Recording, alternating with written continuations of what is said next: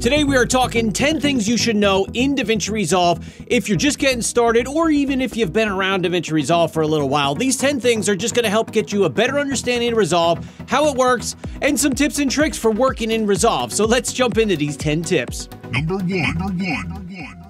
The first thing is to know that there's the free version and the studio version. What's the big difference? Obviously, with the studio version, we get a lot of extra features and tools and effects and things like that, but the major difference is going to be that the free version does not use your GPU, or it makes very little use of it. So with the studio version, Resolve is going to run smoother, it's going to run better for you. The free version is great, don't get me wrong, but you are limiting the access to your computer's power when you use the free version. Studio version is going to run better for you, run smoother for you. When I upgraded, I noticed a big improvement. So start with the free version, but if you edit a lot of video, definitely upgrade to the studio version. It's 100% worth it. Number two. Number two. The second thing to know about Resolve is that the learning curve is steep.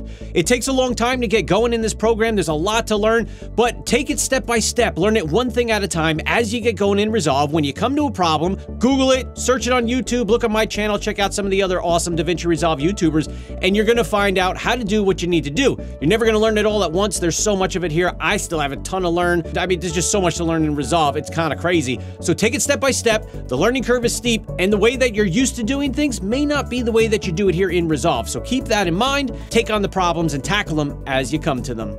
Number three. Number three. All your DaVinci Resolve projects live in a database. A database just houses the project files themselves. It's not your media, it's not any assets for your project, it's just the project files.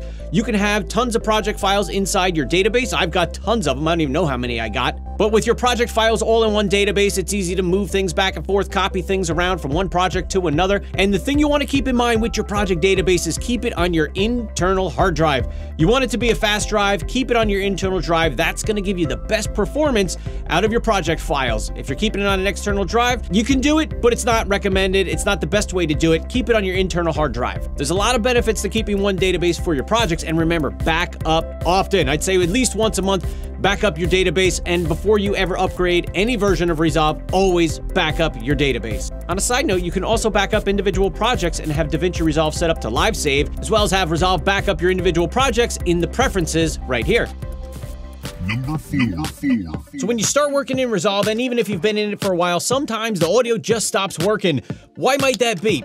Let's check it out. So sometimes when you're in Resolve, the audio just stops working. You're not hearing anything. Here's the number one fix that I found based on comments from many, many people and recommendations that I've given them. Come on up to the DaVinci Resolve menu, come down to Preferences, then you want to come to System at the top, you want to come to Video and Audio I slash O, and right here, Output Device. You want to make sure that this is your output device. Also make sure before you even get into Resolve that your output device is selected properly on your computer, which it should be. But your output device here, now I'm going to go to my Evo 4, which is my output device, my audio interface. And if you're still having problems, you can't hear your audio once you do this and you save these settings, you can uncheck this box right here that says automatic speaker configuration and come down here and select your speaker output. That might work for you too. But once you go ahead and get those settings, go ahead and hit save, come on back down into your timeline, and now you should be good to go. So most of the time, that's to fix your problem of not hearing any audio in Resolve. But if it doesn't, I do have videos on other options that you could try to help get your audio come through Resolve. Speaking about audio here in DaVinci Resolve, one of the things you should be doing on all of your projects is using high quality sound effects and music tracks. I'm a big fan of Epidemic Sound. I've been using their stuff for quite a while now. They have a ton of great music and sound effects on their website, and they are the sponsor of today's video. And my favorite part of Epidemic Sound is the fact that you can download stems for their music. What does that mean? You can download just the bass part, just the guitar part, just the rhythm part, just the drums. You can download any part that you want. So maybe you like a song and it's got singing in it, but you don't want the singing, right? Because you're gonna lay it over top of your video. Well, just download the stems and you can just not include the singing part or the singing track. You can use your other instruments and have the music track that you want in your video. Epidemic Sound is one of the best platforms for content creators to be able to add music and sound effects to the video without receiving copyright penalties. Epidemic Sound owns 100% of the rights to their music, so you never have to worry about any claims on your music or anything being removed in the future. Now, not only can you find over 35,000 music tracks on Epidemic Sound, but you can find over 90,000 90,000 sound effects tracks. So pretty much any sound you're looking for, you can find it. So if you want some of these high quality assets from Epidemic Sound, I've teamed up with them this year for their Cyber Week discounts, and they've got some great deals for you if you use my link in the description down below. You're going to get your 30 day free trial, and you're also going to get an extra two months at a 75% discount. But that link is only good for five days and it's on the personal plan. So definitely hit up that link, get some of these awesome assets. I love Epidemic Sound. Epidemic Sound, thank you so much for sponsoring today's video and providing such a great service for us to use in our videos and make our videos awesome. Number five. five. Drag and drop. That's the next thing you should know here in DaVinci Resolve. You can drag and drop almost anything into Resolve. You can drag and drop pretty much any kind of file type, whether it's an image, an audio file, a video file, whatever it might be, drag and drop it into Resolve. You can drag and drop it into a bin right here, drag and drop. And not only can you drag and drop individual assets, let's say I wanted to drag and drop my whole folder structure, Resolve can set up all the bins for you. Check it out. All I have to do is grab my folder, bring it over in here, and I can just drop it right into my media pool. And it's gonna put everything in there for me. Now, the other cool thing, if I undo that, is if I take that same folder and instead of dragging it into the media pool right here, I bring it over here and drop it on my master, it's gonna add all those folders that I have already set up in my Finder or in Explorer. It's going to add that all in as bins in DaVinci Resolve. So your whole folder structure is already set up. You don't have to create anything. Your bins are there. Everything is good to go. Now, not only can you drag and drop directly into the media pool, you can just drag and drop right into the timeline. It's going to put it in the media pool for you. For example, I have a video file here. If I just drag it down, drop it in my timeline, it's automatically going to add it to my project, put it right in my timeline, and you're good to go. Start working. So drag and drop, super handy. You can almost drag and drop anything here in Resolve. It's awesome, and I use it all the time. Number six. Number six. The next tip here is super handy, and that is if you want to add only video or only audio to your timeline, but you've got a video clip that has audio and video to it. Check it out. In DaVinci Resolve here, you can make sure you've got your source viewer open. If you don't have it open, click this little guy right here. That'll open up both your windows. Double click your file that you want to have in your source viewer here from your media pool. And now if I hover on my clip, down at the bottom here, we've got video only and audio only. So sometimes you just want the video clip, you don't need the audio, maybe it's some sweet B-roll. Just click and hold on the video section, bring it down, and it's only gonna bring in the video clip. And this will work for the entire clip or if you have in and out points set. Now maybe you just need the audio, you film some sound effects or something, you don't need the video. Same thing, you can come and click on hold on the audio section, and then bring your audio down into an audio track. Boom, there you go. You added just the audio onto your track. Now, a little bonus tip here for you. Check this out. Instead of grabbing my clip and bringing it into the timeline, what if I bring it over top of my timeline viewer over here? You get several different options here. You can insert the clip, overwrite it, replace, fit to fill, place on top, append at end, or ripple overwrite. So let's say I wanted to insert a clip here, but I didn't make a cut in my timeline. I can just come over here and go insert, Boom, and it drops it right into my timeline. It inserts it, it pushes everything over in my timeline. You're good to go. Super handy feature to be able to do this really quickly instead of having to come down here and click some of these icons right down here. So nice little bonus tip there for you. Number seven. Number seven. The next thing you need to know in DaVinci Resolve is how to copy and paste. The first one I want to tell you about is copy and paste attributes. Check it out. Let's say I've got a clip right here with me with a big head and I want to copy that to another clip.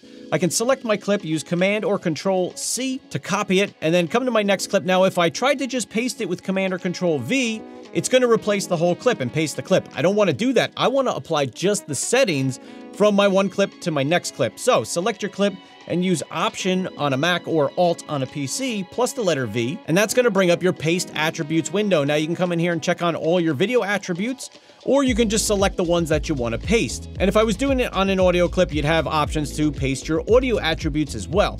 Go ahead and hit Apply, now, if I check out my new clip, boom, there we go. Same big head in the picture there. So that's one way that you can copy and paste. I use that method all the time on every single video.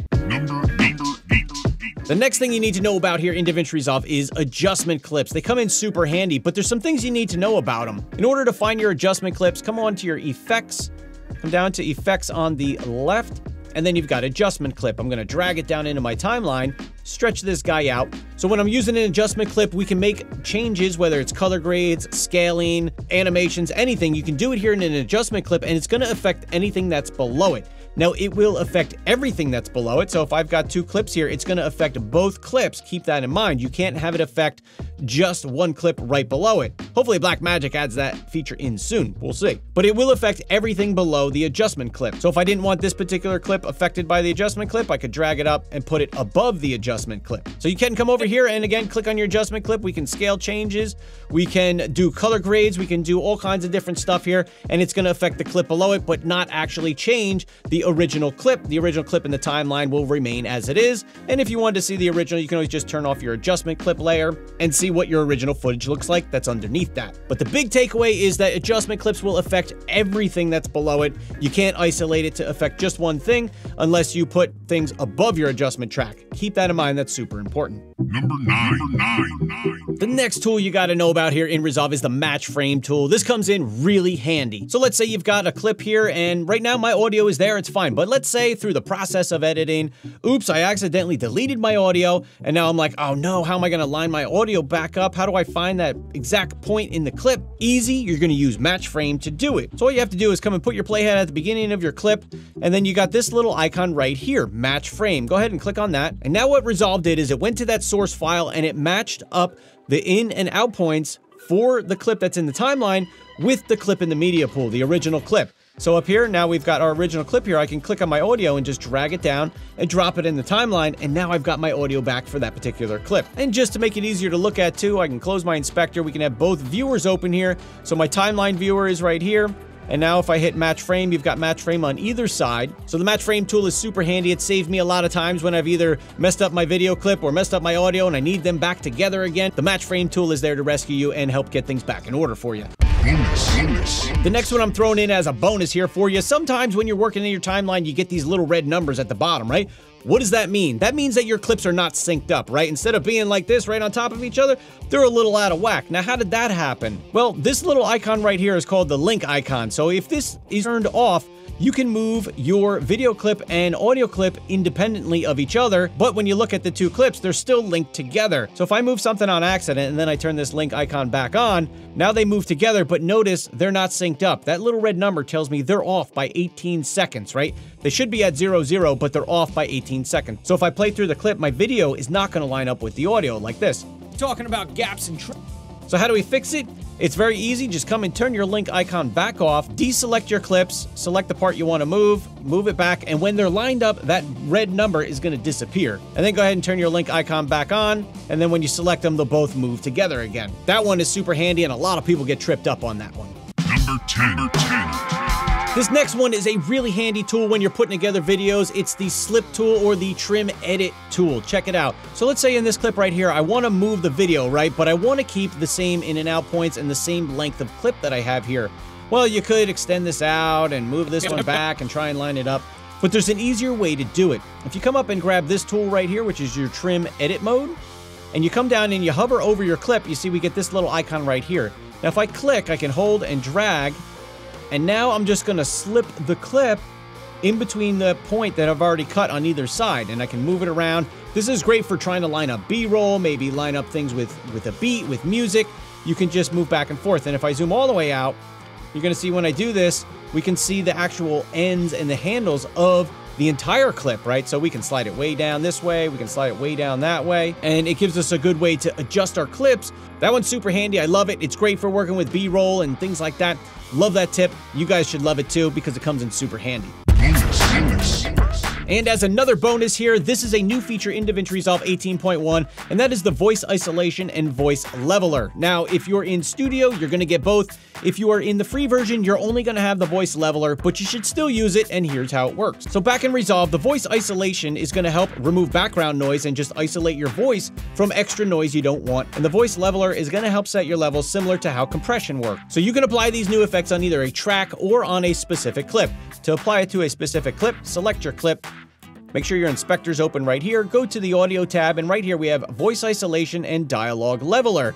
Just go ahead and turn them on. You can use one, both, It's up to you. For voice isolation, you can then come and click on this custom button right here. It's going to give you this window and you've got the ability to make adjustments to either make the effect greater or less depending on your particular clip. And this is going to help remove background noise and just isolate the voice better so it sounds clear and we don't have extra noise going on in our clips. The dialogue leveler here, same thing. You can click on the little custom icon. It's going to bring up this window for you and you have a few options you can change and you can also adjust your output gain because sometimes when we apply these effects, our volume or our gain comes down a little bit and here you've got the ability to boost it back up as the signal comes out of the effect. Super handy feature to know about here in DaVinci Resolve. So if you're not an audio person and you want your audio to sound better, these are two tools that are super easy to use that you just turn on and they're gonna do a great job for you. So there are 10 things you should know in DaVinci Resolve here, whether you're just getting started or you've been around Resolve for a little while huge thank you to Epidemic Sound. I love Epidemic Sound. They have great royalty free assets. Use the link in the description below. You're going to get 30 days free and you're going to get two extra months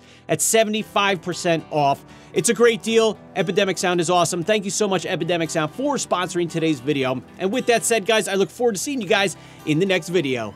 Peace.